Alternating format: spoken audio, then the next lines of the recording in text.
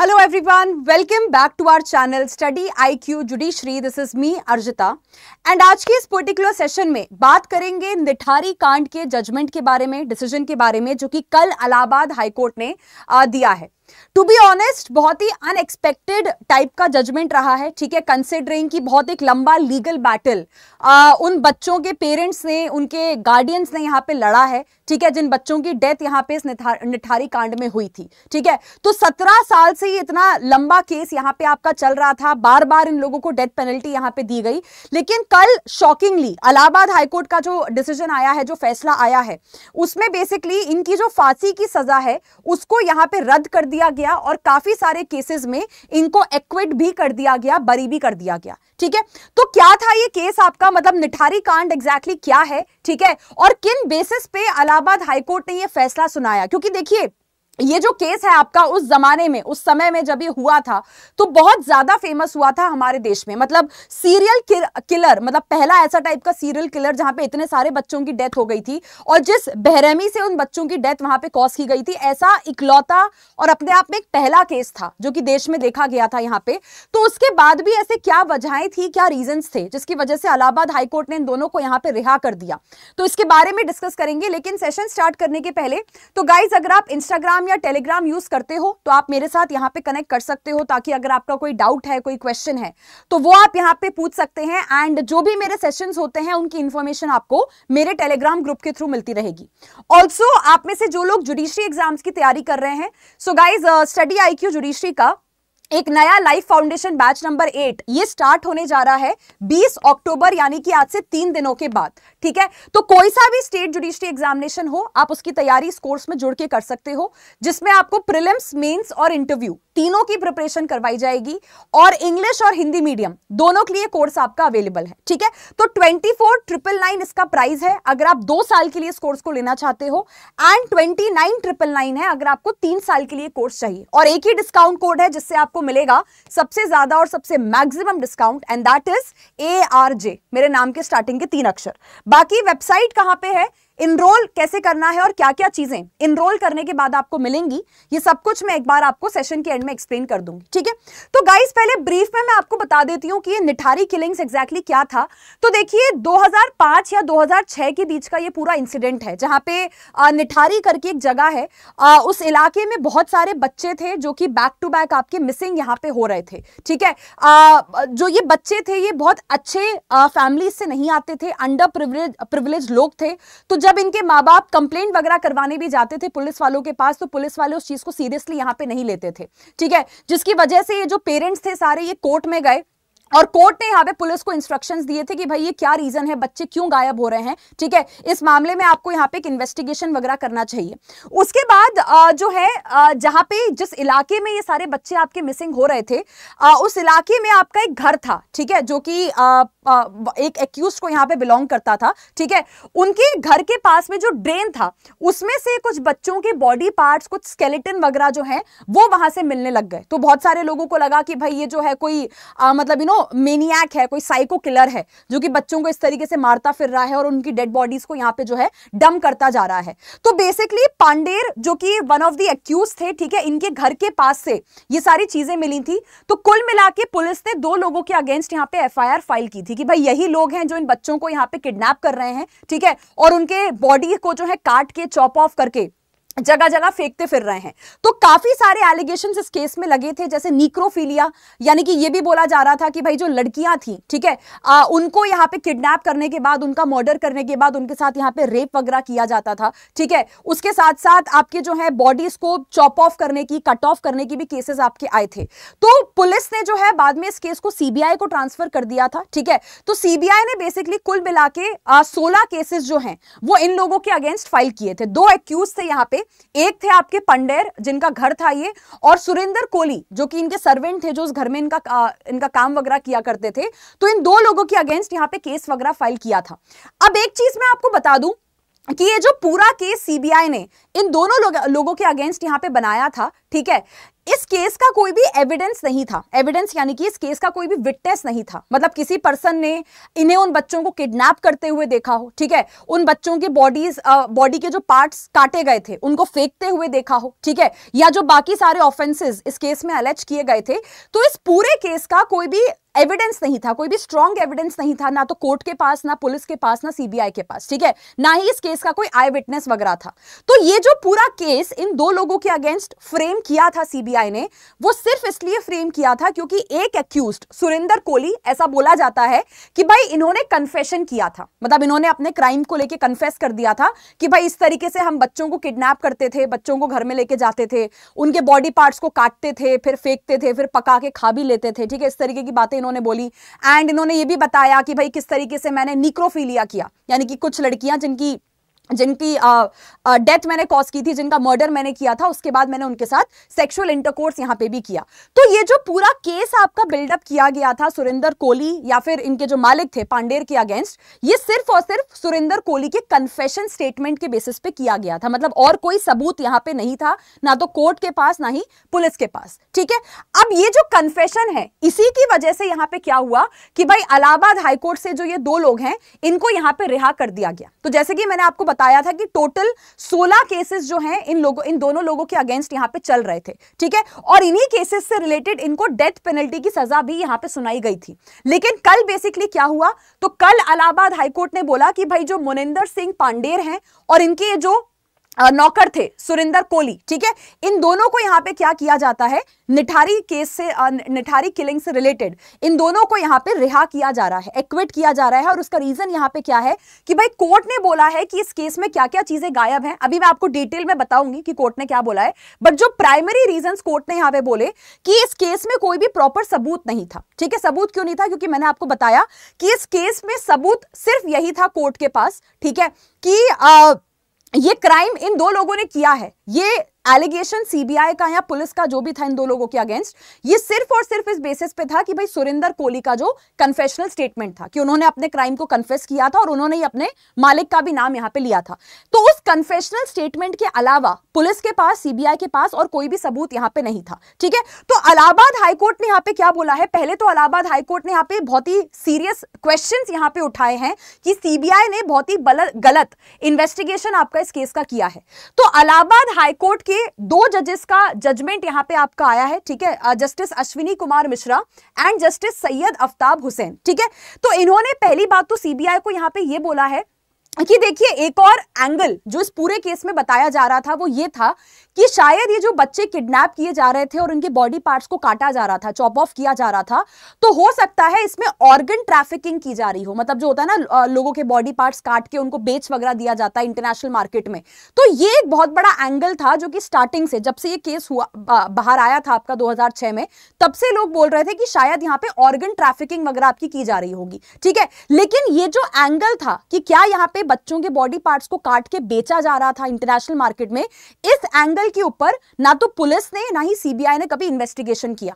तो पहली चीज़ तो कोर्ट ने यहाँ पे वही बोला कि देखिए, इस पूरे केस में हो सकता है कि इन बच्चों की डेथ ऑर्गन ट्रेडिंग के लिए की जा रही हो। इनके बॉडी पार्ट्स को बेचा जा रहा हो इंटरनेशनल मार्केट्स वगैरह में, लेकिन इस मुद्दे के ऊपर इन्वेस्टिगेशन ही नहीं हुआ। मतलब सीबीआई ने इस मामले में जो है छानबीन वगैरह ही नहीं की यहाँ पे, बल्कि कोर्ट का यहाँ पे कहना है कि ये जो पांडेर जी का बंगला था, ठीक है, जिसके आसपास से ये सारे डेड बॉडीज आपकी जो है डेड बॉडीज के, इन बच्चों के बॉडी पार्ट्स रिकवर वगैरह हुए थे, इनके जो नेबर थे यानी कि इनके घर के बगल में जो एक घर था, ठीक है, उस पर्सन को कुछ समय पहले ही जेल हुई थी, क्योंकि वो इसी तरीके से इलीगल ऑर्गन ट्रेडिंग वगैरह किया करते थे। लोगों के बॉडी पार्ट्स जो है वो काट काट के बेचा करते थे। तो कोर्ट का पहला तो पहला तो यहाँ पे यही कहना था कि आपने इस एंगल को यहाँ पे इन्वेस्टिगेशन क्यों नहीं किया? क्योंकि ये बच्चों के, बच्चों को किडनैप करना, ठीक है, उनके बॉडी पार्ट्स यहाँ पे काट के फेंक देना, उनको चॉप ऑफ़ करना, इसको करने का रीजन क्या था? मतलब अल्टीमेटली एक्यूज जो भी था, वो क्या अचीव करना चाह रहा था? तो हो सकता है यहाँ पे इलीगल ऑर्गन ट्रेडिंग वगैरह की जा रही हो। लेकिन इस चीज़ को इस केस में बिल्कुल भी इन्वेस्टिगेट यहाँ पे नहीं किया गया, ठीक है? इसके बाद दूसरी चीज़ यहाँ पे अलाहाबाद हाईकोर्ट ने यह बोली कि देखिए, कोर्ट के पास मतलब सीबीआई के पास या पुलिस के पास ये बोलने का कि भाई सुरेंद्र कोहली ने ये सारे आ, जो है मर्डर्स वगैरह किए हैं ये सारे ऑफेंस वगैरह किए हैं या उनके मालिक ने यहाँ पे किए हैं इस चीज़ का कोर्ट के पास कोई भी और सबूत तो है था नहीं। सीबीआई और पुलिस ने और भी कोई सबूत यहाँ पे पेश नहीं किया।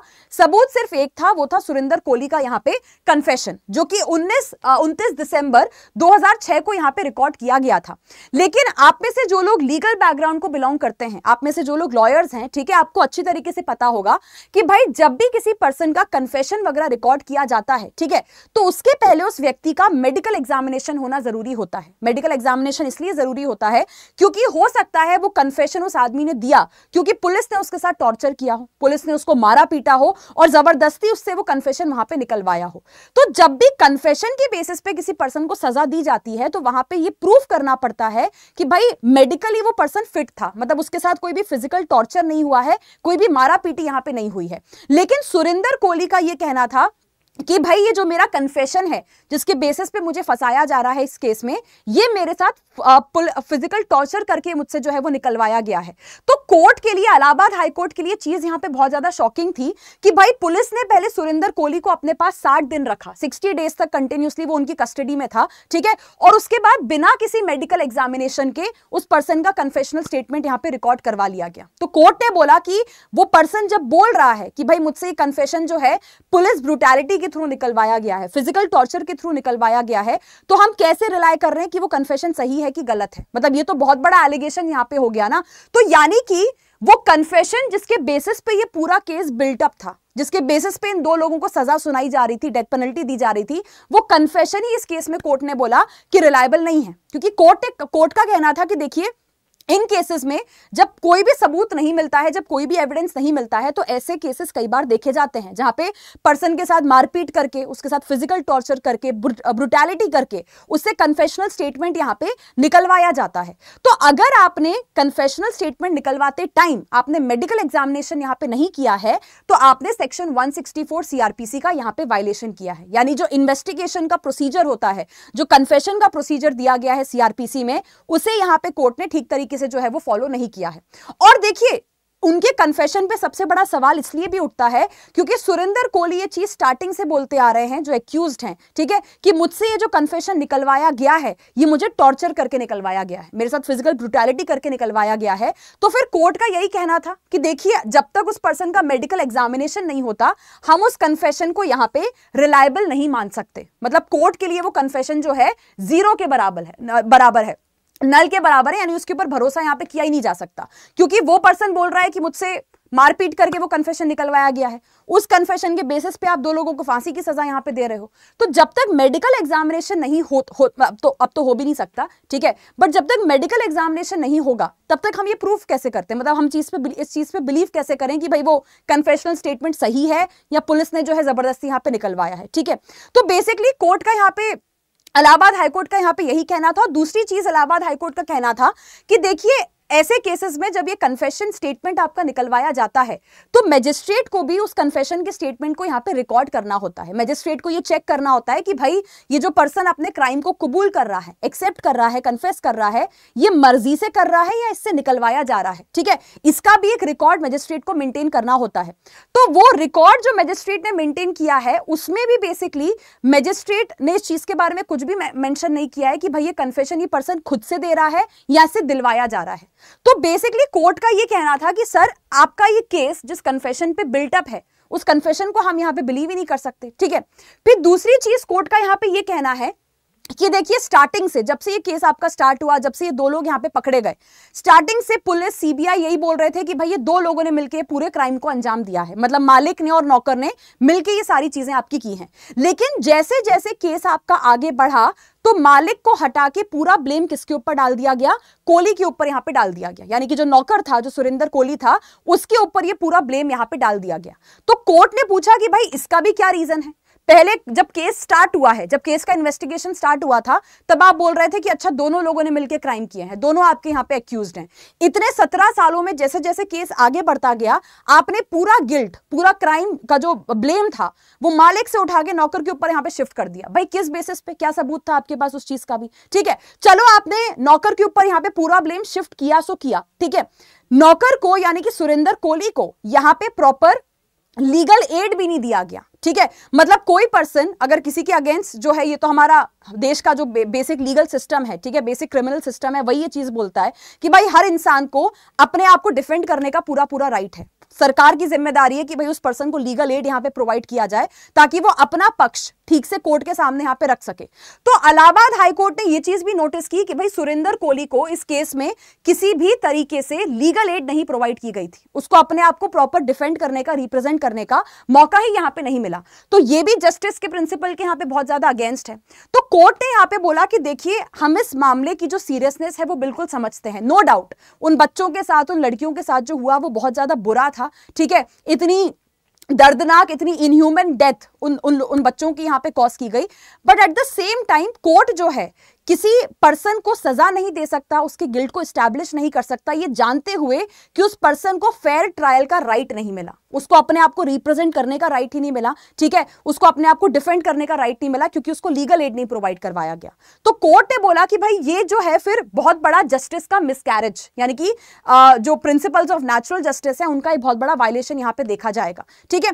तो देखिए, कुल मिला बात यह है सिंपल तरीके से अगर मैं आपको बताऊँ तो जैसा कि मैंने आपको बोला कि इस पूरे केस में, इस चीज़ को साबित करने के लिए कि भाई इन दो लोगों ने क्राइम किया है, ये दो लोगों ने जो है मिलकर इन सारे बच्चों की डेथ वगैरह कॉज की है, उसका सबूत, इकलौता एविडेंस एक ही था, वो था सुरेंद्र कोहली का ये कन्फेशन और जो मैंने अभी तक आपको बताया कि भाई उस कन्फेशन को ही कोर्ट ने बोल दिया कि ये कन्फेशन सही नहीं है। रीजन रीजन बीइंग कि भाई उस कन्फेशन के ऊपर बहुत सारे सवाल आपके उठाए गए हैं कि वो कन्फेशन फ़िज़िकल टॉर्चर करके निकलवाया गया। पुलिस ब्रुटैलिटी करके जो है वो निकलवाया गया, ठीक है? उस कन्फेशन को लेते समय कोई मेडिकल रिकॉर्ड नहीं था, कोई मेडिकल एग्जामिनेशन नहीं किया गया सुरेंद्र कोहली का। तो जब कोर्ट ने यही बोल दिया कि वो कन्फेशन ही आपका रिलायबल नहीं है तो इसी कन्फेशन के बेसिस पे जो सुरेंद्र कोहली के मालिक थे, यानी कि मिस्टर पांडेर साहब थे, मोहिंदर पांडेर थे, इनको सजा दी जा रही थी। तो जब नौकर को ही यहाँ पे रिहा कर दिया उसके कन्फेशन के बेसिस पे तो सीधी सी बात है कि भाई मालिक को तो सजा फिर यहाँ पे हो ही नहीं सकती।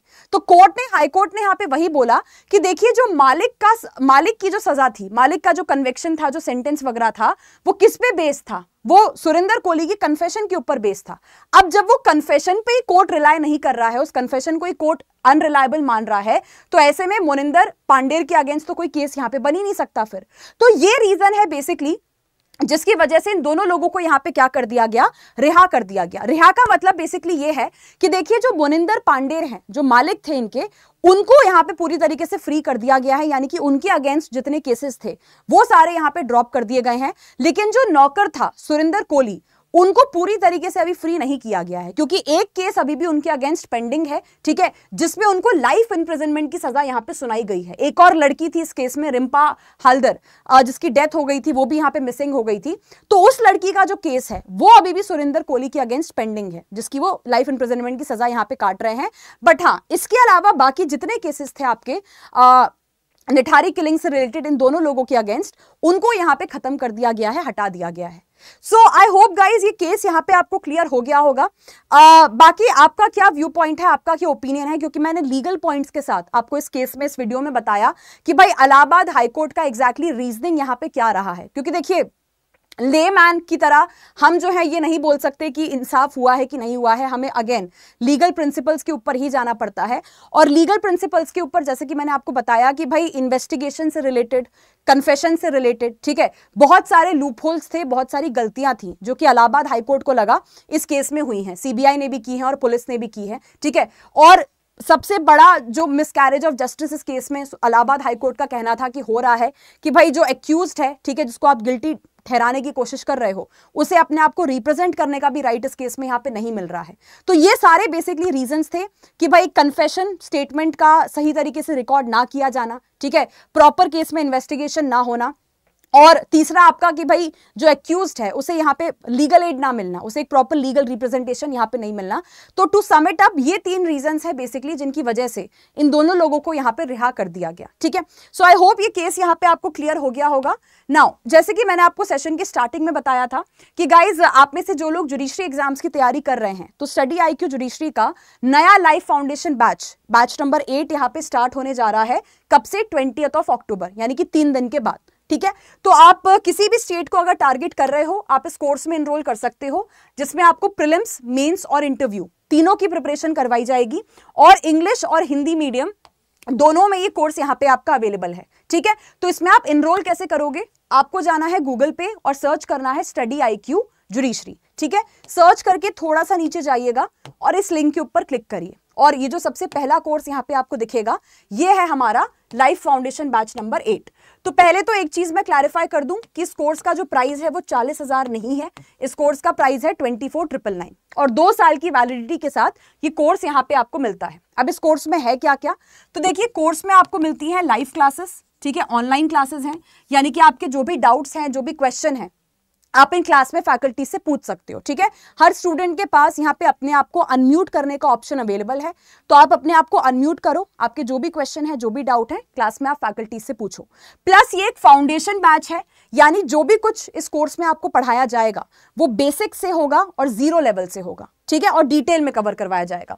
इसके साथ साथ डेली एमसीक्यूज आपको यहाँ पे मिलेंगे प्रिलिम्स के एग्ज़ाम को क्रैक करने के लिए, ठीक है? डेली एमसीक्यू प्रैक्टिस यहाँ पे आपको करवाई जाती है। नोट्स मिलते हैं आपको प्रिलिम्स के लिए अलग और मेंस के लिए आपको अलग नोट्स यहाँ पे दिए जाते हैं हैंड रिटन नोट्स और लेक्चर नोट्स इसके साथ साथ मेन्स की आंसर राइटिंग कैसे करनी है, ठीक है? जजमेंट राइटिंग कैसे करना है ये सारी चीज़ें भी आपको इस कोर्स में सिखाई जाएँगी, ठीक है? आपकी जीके और करंट अफेयर की क्लासेस हो गई, ठीक है? लीगल करंट अफेयर आपका हो गया, ये सब कुछ भी आपका इस कोर्स के अंदर में इंक्लूडेड रहता है।